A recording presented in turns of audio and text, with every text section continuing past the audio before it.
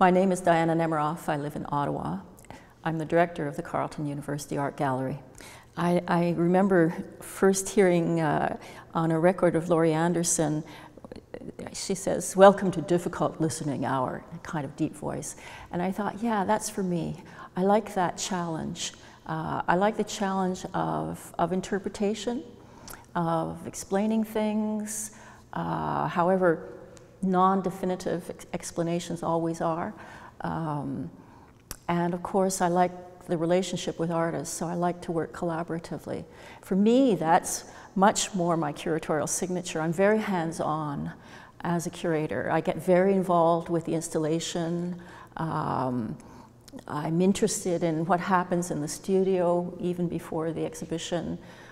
I like to listen to artists and understand what they're thinking about, how their mind works, and try to um, try to be part of a conversation with them. Uh, that's if I have a method, that's my method.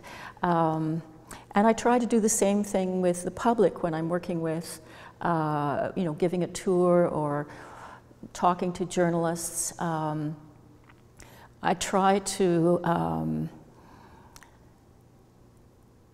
narrow the gap that there may well be between what they are expecting from art and what I'm uh, showing them, uh, because it's often very, very, very different. Um, and um, it, it's a challenge. I think a curator has to be a communicator. Uh, my ideas come from the society I'm living in and from the artists that I'm talking to. And um, I'm really trying to make um, the approach to their work as transparent as possible.